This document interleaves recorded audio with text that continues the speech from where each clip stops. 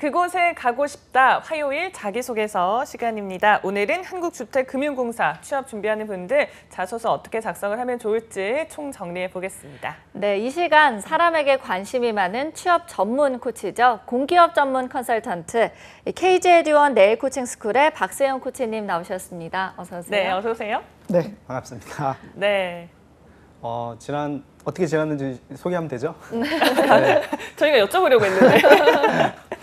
어, 지금 바빴고요. 지금 네. 공기업 준비하는 친구들은 아마 굉장히 분주하게 지냈을 겁니다. 7월 달에 굉장히 6월 달부터 시작된 이제 면접이 굉장히 많아서 어, 면접 지도하면서 6월에서 7월까지 현재까지 오게 됐습니다. 진짜 오직 우리 취준생만 생각하시는군요. 쌤은 뭐 개인적으로 음. 휴가 계획이라든지 좀 스페셜한 일 없으셨어요? 휴가 계획은 사실 네. 이제 저희 이제 큰딸이 중학교 3학년인데 와, 네. 네. 이제 중학교 3학년 이제 시험이 7월 말에 있고 아, 8월 달 중순에 이제 방학을 합니다. 네. 그래서 일정은 그 이후로 이제 잡아보려고 생각하는데 마땅히 갈 데가 없어서 좀 어. 어떻게 해야 될지 고민하고 있습니다. 그럼 뭐 개인적으로는 뭐 하고 싶으세요? 개인적으로 사실 일탈 같은 거. 어, 개인적으로 하고 싶은 거는 네. 특히 없는데 또 제가 이제 책을 지금 쓰기, 쓰고 있는 게 있는데 어. 그 책을 빨리 써야 되는데 마무리를 못 하고 있어서 아, 근데 어떤 그거 책 쓰세요? 지금 자기소개서 책을 좀 정리하고 있습니다. 아, 저희 프로의 경쟁 자신가요? 아니면 아. 협력자신가요? 아, 그건 아니고요. 이제 네네. 동료 강사들이랑 이제 쓰고 있는 책이 있어서 아. 네, 공부할 겸 또 열심히 그 마무리해야 돼서 그거 좀 이제 시간 좀 확보하고 싶습니다. 네, 네. 기대가 됩니다. 네. 혹시 나오면 꼭 저희한테도 알려주시길 음. 바랄게요. 네, 쌤이 뭐 진짜 개인적인 일탈까지도 딸의 시험, 음. 또뭐 학생들 취준, 또 책까지 정말 그러니까요. 바쁜 나날을 보내고 계신데 저희가 오늘 또 알아볼 곳이 한국주택금융공사입니다. 저희가 어제 기업 소개 시간에 안정영 쌤이 여기가 자소서가 정말 어렵다 이런 네. 얘기 하셨거든요. 쌤 어떻게 보시나요? 네, 이미 뭐 안정현 선생님이 또 말씀을 해주셨다니까 제가 이어서 바통을 이어서 말씀드리겠습니다. 네. 네, 오늘 저랑 함께 알아볼 기업이 이제 한국주택금융공사인데 대졸과 고졸 채용해서 이제 60명 정도를 채용하고 있습니다. 이번 주에 마지막이라서 어, 방송을 보시는 분들도 굉장히 열심히 쓰고 계실 텐데 일단 구직자분들이 많이 이제 60명 채용이 적은 인원이 아니기 때문에 우리 구직자분들이 정말 열심히 해야 되는 부분도 있을 거고요. 오늘 저랑 이제 하나씩 짚어보면서 어떤 항목으로 구성되어 있는지 볼 거고요. 어, 사기업 쓰시는 분도 계시겠지만 이 기업이 사기업과 공기업 둘 다 비교했을 때 굉장히 어렵게 까다롭게 출제가 돼 있는 것처럼 느낄 수 있을 겁니다. 그래서 무작정 따라하지 마시고 오늘 저랑 짚어보는 내용들, 짚어드리는 내용들 하나씩 볼 건데요. 일단 서류 전형 기준을 보게 되면 이 기업이 좀 특, 특, 특별합니다. 왜 특별하냐? 자소서의 평가 기준을 다 오픈해줬어요. 네. 그래서 어, 그동안은 NCS로 막 썼지만 지금 이 기업은 NCS 플러스 이제 채용에 관련된 내용을 보시고 평가 기준을 확인하셔야 되는데 일단 크게는 평가 내용을 보시면 직무 능력 기술서가 하나 있고 직무 적성 기술서라고 있는데 이 두 가지 내용입니다. 그래서 특별히 우리가 더 힘든 거 힘든 게 뭐냐면 어, 직무 적성 기술서는 지원 동기부터 해서 총 여섯 개 정도의 항목으로 되어 있는데 이게 서류 전형에 100점 만점으로 구성되어 있다라고 보시면 됩니다. 그래서 여러분들이 채용 공고 하단에 보게 되면 이 내용이 네. 있으니까 뭐 그걸 보시면 될 것 같고요. 합격자 결정 기준도 이제 명확하게 되어 있습니다. 득점 및 가점을 합산하여 고득점 순으로 합격자를 결정합니다. 당연한 거죠. 그리고 그런데 불성실 기재자 잘 써라라는 얘기입니다. 그리고 부적격자 만점에 40% 미만자는 제외를 시키겠다라고 했습니다. 그리고 직무 능력 및 직무 적성 기술상에 한개 항목이라도 기재 내용이 없거나 특정 문자를 기재한 경우 물론 이런 경우는 없겠지만 이제 탈락의 사유고요. 질문에 대해서 전혀 상관없는 내용을 작성하는 등 예를 들면 1번 항목에 뭐 인재상인데 다른 걸 쓴다든지 이런 걸 얘기하는 거죠. 그리고 미기재와 동일하다고 볼 수 있는 내용들 어, 무조건 탈락이다. 그리고 이제 30% 미만의 글자 수 불성실로 해서 탈락을 시키겠다 이렇게 공지를 해주고 있습니다. 네, 이렇게 자소서 시간에 저희가 한국 소개를 하기도 전에 그러니까 구체적인 가이드라인을 제시한 게 처음인 것 같은데 그만큼 우리가 어떤 인재를 원한다 이런 걸 좀 명확히 했다라고 볼 수 있겠죠. 네. 음. 예, 실제로 직무 능력 기술서랑 직무 적성 기술서 두 개로 나눠져 있죠. 그래서 네. 아마 처음에 우리 구직자분들이 직무 능력 기술서를 보면서 뜨악 이제 하실 겁니다. 그런데 네. 그 내용 직무 적성 기술서는 더 힘들어져요. 요 어. 내용 두 가지를 설명드릴 건데 직무 능력은 하나의 항목이기 때문에 그냥 쓰신다고 보지만 이 내용도 이제 철저하게 분석을 해서 써야 되는 부분이고요. 그다음에 직무 적성은 여섯 개 항목으로 이루어졌습니다. 전체적으로 800자, 900자 정도로 되어 있는데 어. 어, 여러분들이 글, 글을 쓰다 보면 알겠지만 일반적으로는 400자, 500자 정도의 글인데 이, 이 기업은 어, 8, 900자 정도로 굉장히 많은 글자 수를 요구하고 있다. 그래서 자소서 쓰시면서 마음을 단단히 먹고 준비를 해야 될 것 같습니다. 아니 저희가 지난 시간에 알아본 SK 네트워크스는 오히려 좀 300자로 짧아서 어떤 내용을 좀잘 담아야 할지가 어려웠는데 이번에는 쌤 좀 긴 것 같아요. 이럴 때는 어떻게 작성하면 좋을까요? 네, 글자 수가 작은 기업들의 특징이 있는데 뭐 일단은 뭐 이랜드 같은 기업들이 짧게 짧게 아홉 개 항목을 쓰거든요. 그리고 SK 같은 기업들이 약간 바뀐 것 같아요. 네. 어, 원래 길게 썼던 기업인데 바뀐 것 같은데 자 이렇게 길게 쓰는 것만 기업은 정확하고 명확하게 우리가 알고자 하는 내용을 써줘라 라고 했기 때문에 그 내용에 충실할 필요가 있다고 볼 수 있습니다. 자, 그러면 쌤이 조언을 해주신 대로 저희 마음을 좀 단단히 네. 먹고 첫 번째 항목부터 살펴보겠습니다. 직무 능력 기술서인데요. 직무 기술서를 참고하여 직무 관련 교육, 자격, 경험 등에 대해서 자세히 기술해 주시기 바랍니다. 900자 이내로 써야 하고요. 직무 기술서는 직무 능력 기술서 기재사항에 대해선 추후 반드시 증빙 서류를 제출하여서 증명이 가능해야 합니다. 입증이 불가능한 사항을 기재할 시 채용에 불이익을 받을 수 있으니 신중하게 작성해 주시기 바랍니다. 라고 되어 있고요. 또 직무 능력 기술서상 기재 내용이 없거나 특정 문자만 기재한 경우 질문에 대해 전혀 상관없는 내용을 작성하는 등 미기재와 동일하다고 볼 수 있는 경우 허용 글자 수의 30% 미만으로 기재한 경우 등은 불성실 기재자로서 합격자 결정 시 제외가 됩니다. 역시 작성 가이드가 굉장히 구체적인 것 네. 같아요. 네. 어떻게 작성을 해야 될까요? 아, 보, 보면서 보험회사 약관 쓸 때 그런 느낌인 것 같습니다. 네, 맞아요. 조심해야 될 것 같다는 생각이 들었고요. 직무능력 기술서 같은 경우는 직무 능력을 압축해서 쓰는 내용이기 때문에 예, 그런 부분들 여러분 좀 고민을 해보셔야 되고요. 관련 교육 이수라는 것이 보통은 이제 이력서에 쓰다 보게 되면 학교 교육이다, 기타 교육이다, 뭐 교외 교육이다 이런 게 있습니다. 그래서 여러분들이 교육 사항과 자격 사항들, 거기에 지식 사항들을 정확히 써주시면 돼요. 그리고 특별히 여러분들이 학교에서 받았던 저 교육 내용들 이런 내용들을 잘 써주면 되겠죠. 그 다음에 경험 관련된 부분들은 영양적인 부분들이 잘 드러날 수 있도록 설명해 주는 것이 굉장히 중요합니다. 아무래도 직무 능력 채용이다 보니까 이런 부분들을 굉장히 고려해서 진행을 하고 있다라는 생각이 들었습니다. 근데 궁금한 게 경험일지라도 여기서 보면 증빙 서류를 제출해야 되는 건가요? 일단은 여기서 방금 전 읽어주신 것처럼 네. 나중에 서류 다 제출할 때니까 네. 이거 서류 전형에서 가산점 받으려고 일부러 거짓말 하게 되면 니네 탈락시킬 거야 라고 경고성 멘트라고 보시면 됩니다. 그래서 경험 관련된 부분들이 경력과 경험으로 나뉘는데 보통 경험 관련된 부분들은 이제 우리가 학교에서 프로젝트 같은 것들을 경험이라고 한다면 네. 경력 같은 경우는 증명할 수 있는 돈을 받거나 어떤 기관에서 발급해주는 공식적인 내용이 있는 걸 경력이라고 하거든요. 아마 이 두 가지의 구분을 지금 지어서 작성을 하라고 하는 것 같습니다. 음, 자, 그럼 다음은 직무적성 기술서 부분 알아보겠습니다. 이제 여기서부터는 익히 봐왔던 자소서 문항들이 좀 나오는 것 같은데 첫 번째 항목부터 알아보겠습니다. 음, 1번 우리 공사에 지원한 동기를 지원자가 가진 직장 선택의 기준과 연계해서 기술해 주십시오. 800자 이내. 어, 지원 동기랑 직장 선택의 기준을 연계하라고 했는데 저는 이거부터 좀 어려운데요. 네, 조금 전에 제가 말씀드릴 때 평가 항목을 이제 다 오픈했다고 했잖아요. 네. 그래서 우리 구직자분들이 딱 보면서 평가 항목을 딱 띄워놓습니다. 띄워놓고 아 이 질문이 아, 지원 동기의 공사의 비전을 물어보는 질문이구나라고 우리 친구들이 보시고 작성을 해주신다고 보시면 돼요. 그래서 딱 보시면 알겠지만 지원 동기입니다. 그런데 공사의 비전과 여러분들의 비전이 일치하게 이런 걸 요구하는 것 같아요.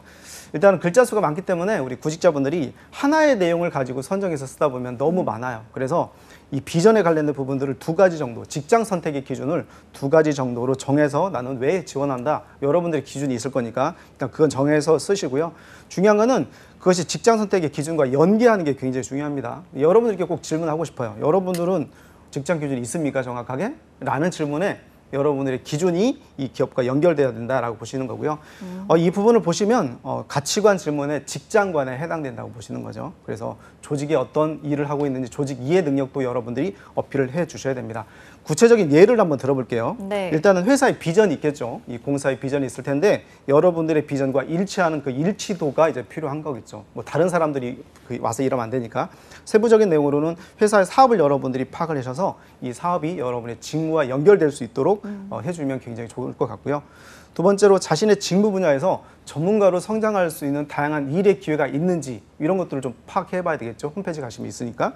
그 다음에 기타 여러분들이 생각하는 직장 선택의 기준을 제시하시고 반드시 반드시입니다. 한국주택금융공사에서 진행하는 사업이나 방향성의 내용과 결부시키지 않으면 이 항목은 약간 벗어난다고 볼 수 있습니다.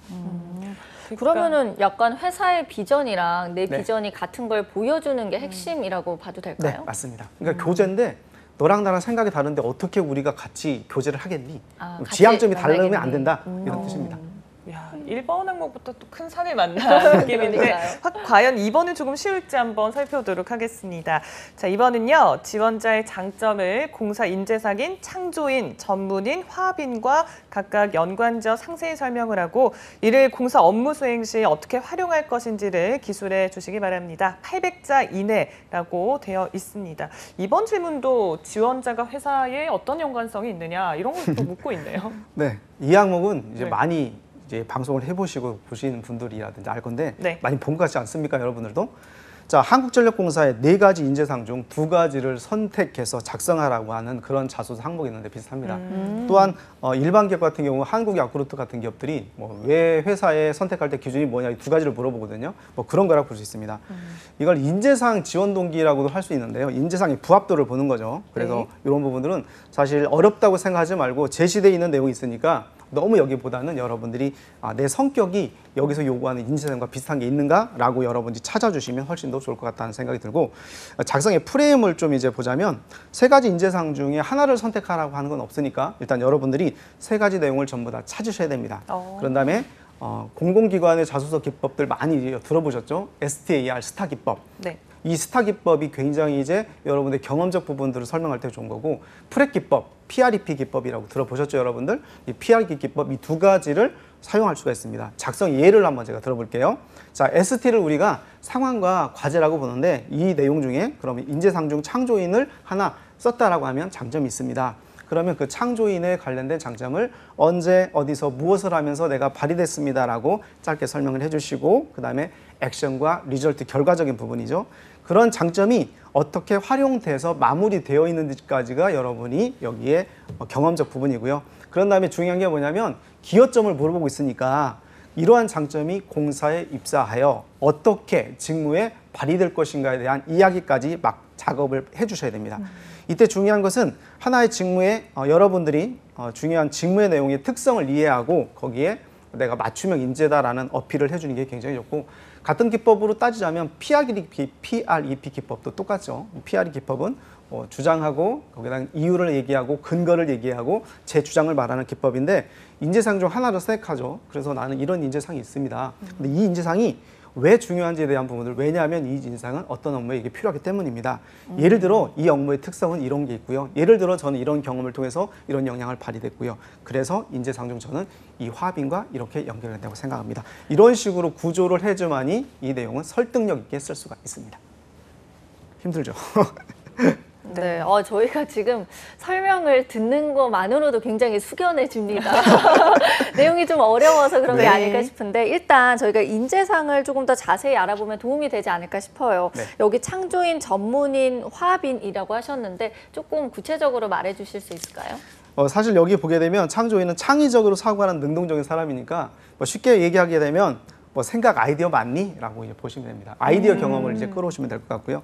전문인 그러면 자기 개발에 대해서 최고를 지향하는 거니까 꾸준하게 나는 어떤 책을 본다든지 논문을 본다든지 공부를 한다든지와 관련된 내용이고 자기 개발하니까 또 운동을 한다든지 이런 거 쓰시면 안 됩니다. 그러니까 아. 실제로 직무에 포함되어 있는 내용이에요. 아. 그래서 뭐 샐러던트라고 하잖아요, 직장인들. 그래서 네. 샐러던트, 샐러 그 샐러리맨과 student 합성어인데 그러니까 공부하는 그 직장인들을 말하듯이 공부하는 직장은 아니지만 여러분들이 미리미리 꾸준히 준비해왔느냐 이런 걸 물어보고 있고요. 화합인은 또 이거는 어, 이 기업이 지향하는 어떤 인재상하고 비슷한 것 같아요. 함께 어울려 사는 게 굉장히 중요하다. 더불어 사는 세상. 이런 세상에 여러분들이 어떤 활동을 했는지 봉사활동이라든지 누구를 도왔다라 활동이라든지 이런 각종 활동들을 끌어와서 이게 접목을 해주시면 될 것 같습니다. 네, 지금 말해주신 이 인재상과 내 장점을 연결하는 방법을 알려주셨는데 그럼 저희가 또 직무랑도 연결을 해봐야 되잖아요. 네. 이 점은 어떻게 해야 할까요? 직무에 연결된 부분들은 만약에 뭐 여기 창조인이다라고 하면 나중에 아이디어 같은 게 필요하거든요. 이제 기업의 실질적인 아이디어가 필요하니까 어떤 뭐 상품을 만든다라고 하면 그 상품에 관련된 아이디어 있는 그대로가 정형적인 게 아니라 아 이런 니즈가 있으니까 이런 상품을 내가 제안해야 되겠구나라는 생각이 들 수 있겠고 전문인 관련된 부분들은 아무래도 이제 이력서 부분에서 쓸 수 있는 여러분이 교육상이라든지 경험 이런 사항도 있을 건데 그런 내용들에 대해서 내가 이렇게 준비해 왔다 라고 쓸 수가 있을 것 같습니다. 네. 자, 그럼 이제 3번 항목도 살펴보겠습니다. 어, 공사는 TOP, 조직 문화를 가지고 있으며 TOP란 together 함께 오픈, 열린, professional, 전문적인을 의미합니다. 위 단어 중 하나를 선택하고 이 선택한 단어가 조직 문화에서 어떤 의미를 가지는지를 지원자의 경험과 함께 기술해 주시기 바랍니다. 900자 이내 라고 되어 있습니다. 야, 또 TOP라는 네, 조직 문화까지 등장을 했어요. 네. 어, 뭐 일단 잠깐 쉬어가면서 여러분들도 TOP 저그 커피 한잔 하면서 여유 있게 썼으면 좋겠다는 생각이 들었고요. 네. 먼저 이제 여기 두 분 MC께 질문 드려볼게요. 어, 네. 두분 열심히 일하고 계시잖아요, 네. 현재 지금 한국 직업 방송에서. 어, 일단은 한국주택금융공사의 TOP가 음. 조직 생활에 왜 중요하다고 생각하시는지 이 두 분의 의견을 한번 듣고 가도록 하겠습니다. 아, 그러니까 이 공사가 아니라 뭐 일을 할 때 언제든 TOP가 왜 네. 중요하냐고요? 네. 음. 저는 사실 TOP 얘기 들었을 때 연예인 한 분만 가장 먼저 떠올랐거든요. 아마 우리가 커피 광고에 너무 노출이 많이 돼서 원빈님 좋아하십니까? 좋아합니다. 근데 뭐 네. 여기 내용을 보면은 아마 사실 뭐 일단 전문성이 당연히 있어야 할, 할 테고 일을 하려면 근데 또 혼자 일을 하는 게 아니니까 좀 오픈된 마인드를 가지고 협력해야 한다 이런 얘기 때문에 중요한 게 아닐까요? 사실 그러니까 전문적이라는 거 들었을 때 혼자 할 수도 있을 것 같은 느낌이긴 하지만 요즘 뭐 혼자 하는 일이 있겠습니까? 그렇죠. 네. 정답이 나요? 네. 어떻게? 쌤이 투게더에 침묵하시는데 투게더에 관련된 이야기만 많이 해주셔서 이제 아. 열린과 이제 전문적인 부분까지 이제 말씀을 해주셨으면 좋았겠는데 네. 음. 그러면 3번 문항 관련된 조직 그 내용들을 한번 보겠습니다. 네. 일단 조직 문화에 대한 의미를 우리가 좀 살펴봤으면 좋겠는데요. 조직 문화라는 것은 구성원들의 공유된 행동과 가치관을 음. 조직 문화라고 합니다. 예를 들어서 일하는 방법이 있습니다. 그 일하는 방법이라는 것이 우리가 알려주지 않고 어떻게 하라고 하지 않았지만 어, 조직에 가봤더니 그 사람들이 아 이런 방식으로 일을 하네. 어, 이게 약속된 거죠. 그런 약속이고 조직의 정체성. 일을 하다 보니까 아 우리 조직의 사람들은 이런 생각을 가지고 살고 있고 나도 거기에 동화돼야 되겠구나라고 하는 부분들이 있을 거고요. 그 다음에 조직의 전통이죠.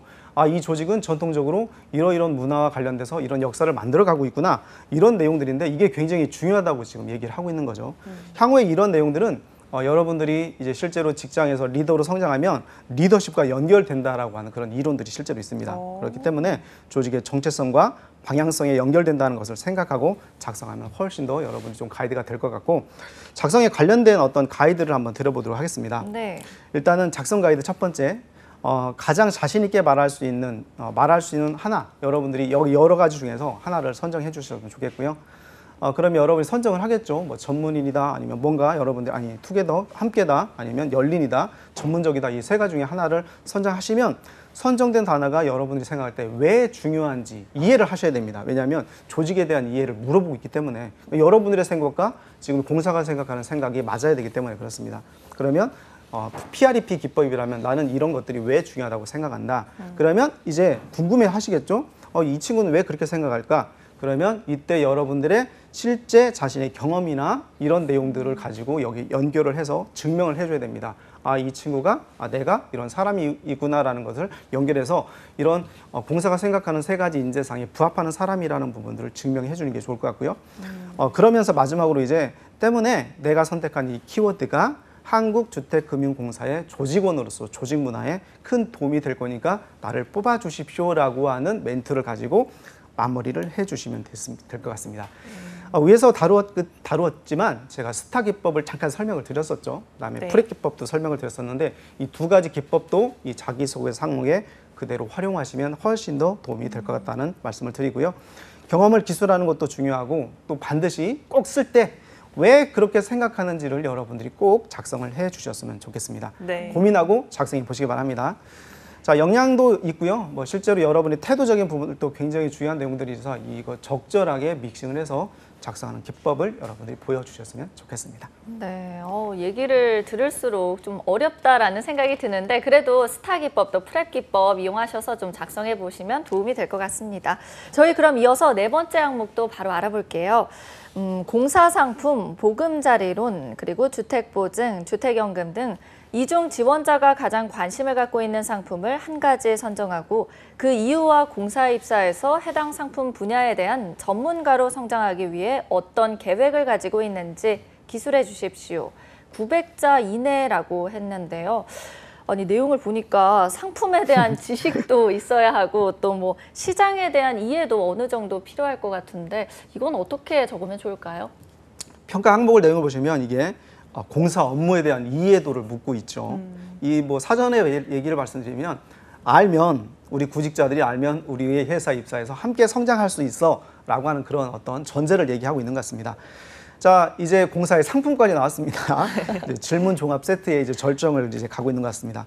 자 조직에 대한 정보를 파악하는 질문이라고 우리가 이해하시면 될 것 같아요. 그래서 조직 이해 능력이라고 볼 수 있는데 우리가 어떤 상품을 가지고 있는지 어떤 특징을 갖고 있는지를 기본적으로 알고 그걸 안 다음에 입사 포부로 연결해 줘라라는 그런 요구를 하고 있습니다. 당연히 이 해당 자소서 항목은 직무를 모르면 직무에 대한 이해를 모르면 작성하기가 힘든 항목으로 나와 있습니다. 어, 직무 중심 채용의 대표적인 모범 기업이라고 볼 수가 있습니다. 아, 이 부분의 작성을 위해서 여러분들이 해야 되는 가장 중요하고 기본적인 게 뭐냐면 회사의 홈페이지입니다. 보시면 굉장히 홈페이지에 대한 어, 상품 설명이 아주 잘 나와 있고요. 이 상품의 종류와 특징을 여러분들이 차근차근 공부하시고 어, 상품의 특징을 보신 다음에 여러분들이 선택을 해서 작성해 주시는데 가령 여러 가지 상품 중에 주택 보증 상품을 여러분들이 선택했다고 가정을 해보겠습니다.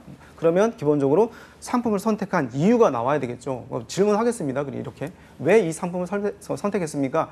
만약에 이것이 자기 소개서가 아니라 여러분들이 어, 면접이라고 했을 때도 똑같은 이야기가 나와야 됩니다. 그런데 뭐 정확하게 이유가 없어요. 그러면 뭐 공사에 대한 이해도 없네. 그러면 상중하라면 하 점수를 받게 되는 거죠. 이것을 미리 사전에 이제 질문하고 있습니다. 그러면 그 상품의 특징, 그 다음에 그 상품의 특징이라는 것이 누구를 대상으로 하는 거냐, 그 다음에 상품이 누구에게 어떤 혜택을 주는지에 대해서 상세하게 설명을 해줄 필요가 있겠죠. 그런 다음에 어, 예를 들어서 여러 가지 상품 중에 전세 자금 보증을 여러분이 또 선택했다 보면 네. 전세 자금 보증 안에서도 일반 전세가 있고 집단 전세가 있고 인터넷 전세가 있어. 이 말만 용어만 들어서는 우리가 이게 무슨 내용인지 알지 못한 말이죠. 네. 못하기 때문에 이런 내용들에 대해서 여러분들이 다 알고 있고 내가 이 부분에 대한 지식도 있고 경험도 있고 알아봤다.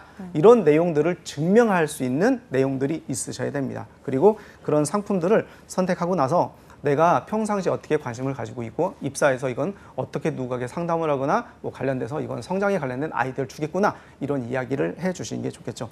다음으로 이제 상품에 관련된 이야기를 잠깐 들어볼게요. 네. 어, 어떻게 여기 자수를 보게 되면 어떠한 계획을 가지고 있는지에 대한 이야기를 또 물어봤단 말이죠. 성장에 관련된 이야기입니다. 그러니까 일만 할 게 아니라 분명히 관리자로 성장해야 된다는 전제를 가지고 있죠. 그래서 이 내용을까지 여러분들이 신입으로서 또 어떻게 갈 건가에 대한 어, 어, 관리자로 가면서 계획을 써주시는 건데 내가 여기서 이제 드리고 싶은 이야기는 보통 이제 잘 모르면 뭐 열심히 하겠습니다. 뭐 선배 사원들의 이야기를 듣고 또저 노트를 만들겠습니다. 이렇게 얘기한단 말이죠. 뭐 그런 식이 아니라 정확하게 어, 상품이 계속 변하잖아요. 예를 들어서 그 지금 이제 부동산 정책이 또 변- 변경됐단 말이에요. 바뀌었단 네. 말이에요. 그러니까 정부가 진행하는 여러 가지 부동산 정책들은 누가 이용하냐면 우리 서민들과 우리 국민들이 이용하죠. 그러면 그런 내용에 대해서 시대가 바뀌고 여러 가지 상황이 바뀌면 여러분들은 그런 상황에 대처해서 어떻게 할 것인가에 대한 이야기들 이런 계획들이 실제로 있으면 훨씬 더 좋은 자소서가 될 거라고 볼 수 있습니다. 네, 어, 회사 홈페이지 꼭 들어가셔서 꼼꼼하게 좀 살펴보시면 좋을 것 같고요. 5번 항목 바로 살펴보겠습니다.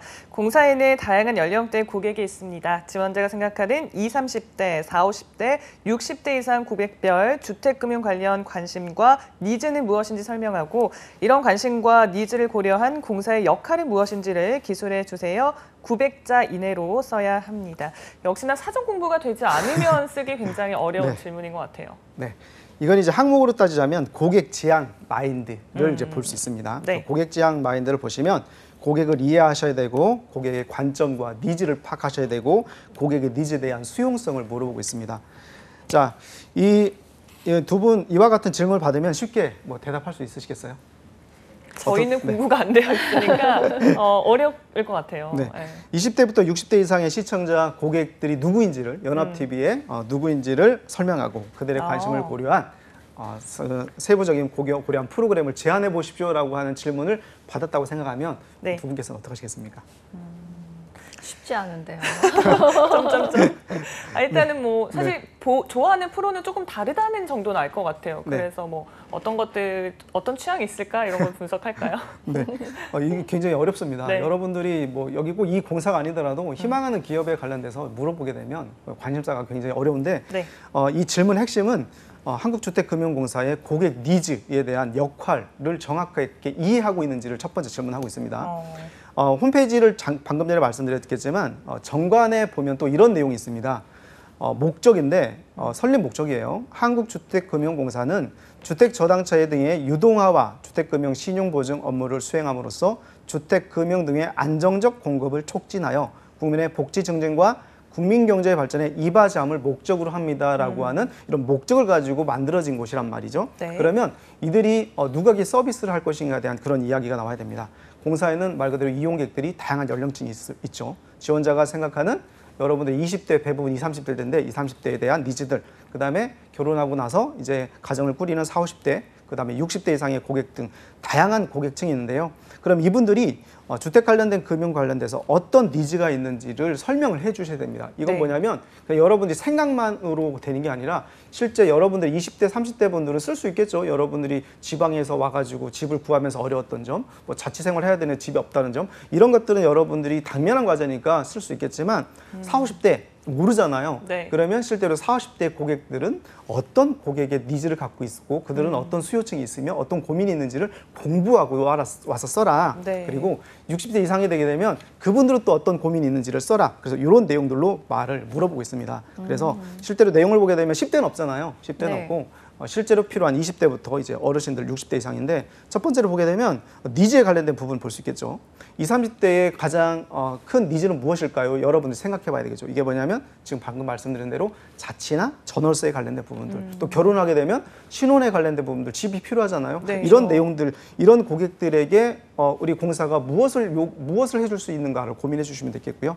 40, 50대 가장 큰 문제는 이제 아이가 자라고 자산 증식에 가- 관련돼서 가장 관심이 많을 테니까 그분들에겐 또 뭐 어떤 부분들이 관심이 제일 많은지를 보시면 될 것 같고 은퇴 이후에 60대 이후의 삶을 보게 되면 안전 자산이 필요할 것이고 노후에 어떻게 될 것인가에 대한 거 필요하겠죠. 그래서 그런 내용들에 대해서 각각의 고객들이 음, 어떤 니즈와 관심이 있고 우리 공사는 무엇을 제공해 줄 수 있는가에 대한 철저한 시장 조사를 기반으로 작성을 해 주셨으면 좋겠습니다. 이거는 그냥 인터넷에 여러분이 검색, 구글링으로 쓸 수 있는 내용이 아니에요. 뭐 부모님에게도 질문해 보시고 삼촌에게도 질문해 보시고 다양한 고객층에 관련된 내용들을 조합해서 써 주셨으면 좋겠습니다. 네, 자 그럼 저희가 어느새 마지막 6번 항목 남겨두고 있는데요. 바로 만나볼게요. 네. 네, 공사는 사회적 책임을 다하기 위해 은퇴금융 아카데미, 재미지에 어르신 한글 교실, 집고치기 등 다양한 공익 지향적 활동을 진행하고 있습니다. 네, 지원자의 과거 공익 지향적인 경험은 무엇이고 또 공사 입사에서 공사의 특성 및 지원자의 경험을 반영해 새로운 공익 지향적 활동을 계획한다면 어떤 게 있을지 기술해 주십시오. 900자 이내라고 적어 주셨어요. 네, 공익 활동까지 묻고 있습니다. 아마 어려운 자소서의 끝판왕이 아닐까 싶은데 어떻게 써야 할까요? 네, 이것도 이제 평가 항목의 마지막 항목을 보게 되면 공익 지향 자세라고 적혀 있습니다. 그 내용을 묻고 있는 질문이죠. 정말 다양하고 골고루게 편식하지 않고 질문을 하고 있습니다. 아, 이쯤 되게 되면 우리가 생각해 볼 필요가 있는 게 뭐냐면 아, 주택금융공사의 직원들은 어떤 마음으로 근무를 하고 있을까? 그 사람들의 이제 상이 이제 그려지는 것 같은데요. 일단 내용적인 부분들을 설명을 해 볼게요. 어, 사회 공익을 위하는 집단에서의 일을 하면 여러분들이 무엇을 해야 되는지에 대한 내용입니다. 첫 번째, 어, 어렵게 생각하지 마시고요. 일단은 봉사활동 경험을 찾으십시오. 봉사활동 관련된. 없으면 어, 지금이라도 제가 가장 많이 강조하는 헌혈을 해라고 말씀드립니다. 봉사의 이유가 뭐냐, 목적이 뭐냐, 누군가를 돕는 거죠. 돕는 일의 끝판왕은 뭐냐면 사람의 생명을 살리는 일이다. 이게 봉사활동이에요. 일단은 어, 봉사와 직결되는 질의 어, 항목은 아니더라도 일단 봉사를 하고 있다는 그런 것들을 어필할 필요가 있고요. 그런 다음에 나중에 여러분들이 지향성을 관련된 어떤 것이 있는지에 대한 아이디어를 제안하고 하겠으니까 그런 부분에 대해서는 앞으로 주택금융공사가 할 수 있는 내용들은 아이디어를 제안해야 됩니다. 그런데 실제로 어, 집이라고 하는 것이 이제 시대가 변하면서 니즈가 이제 방금 전에 말씀드린 달라지고 있잖아요. 그런 부분이라면 지금 많이 하고 있는 게 예를 들면 뭐 전원주택도 많이 가고 있고 뭐 네. 타운하우스도 많이 가고 있고 또 이제 월세 주는 것도 많이 하고 있고 하고 있습니다. 그러면 이제 노후의 그런 삶을 또 꿈꾸는 사람들에겐 어떤 게 더 필요한지도 생각해 볼 필요가 있을 것이고 또 저출산과 고령화가 심각하잖아요. 그러면 주택의 어떤 형태가 단순 주거 형태에서 또 바뀔 거란 말이죠. 그런 여러 가지를 고민해서 그때 시대상에 맞는 고객들이 층이 어떤 게 있을까? 저는 그래서 인구 조사를 기반으로 하거나 현재 서울의 수요, 경기도의 수요, 지방의 수요들을 조사해서 그분들이 앞으로 10년 뒤, 20년 뒤에는 어, 이 주택의 기능이 어떻게 변할 건가에 대한 고민을 하고 여러분들이 좀 썼으면 좋겠다 이런 말씀을 드리고 싶습니다. 네, 이렇게 한국주택금융공사 자소서 항목들 쭉 살펴봤습니다. 어, 마지막으로 지원자 여러분들께 조언 한마디 짧게 또 해주신다면요? 네, 이 기업은 아무래도 지금 다 살펴봤지만 정말 어렵게 돼 있습니다. 아무래도 그냥 막 쓰기보다는 기업에 대한 관심을 가지고 있는 친구들에게 가산점을 주려고 쓴 것 같으니까요. 어, 기업들 자소서 항목과 관련된 부분들 평가 항목 있었죠 꼭 확인해 보시고요. 그다음에 홈페이지 있는 내용들이 상당 부분에 어, 거기에 자료들이 있습니다. 이걸 꼼꼼히 살펴보신다면 평가에 좋은 자소서가 될 것 같습니다. 네, K